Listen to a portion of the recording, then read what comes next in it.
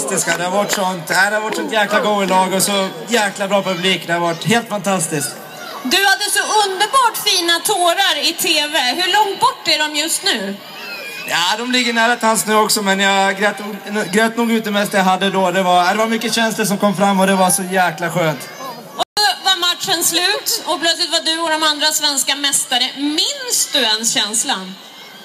Ja, det, det, var, det var helt enormt. Det var som jag sa, det var så mycket känslor som bubblades upp och det, det var helt enormt.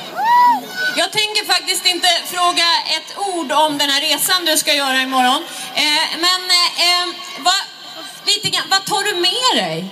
Eh, ja, vad tar jag med mig? Att jag haft så ett, ett så grymt härligt lag. Jag har lärt mig så oerhört mycket det här året, både från medspelare och tränare och nära och kära. Och det...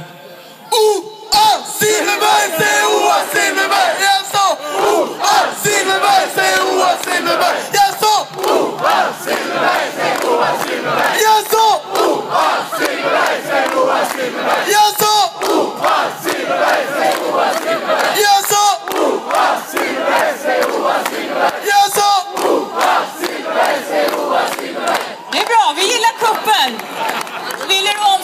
landing at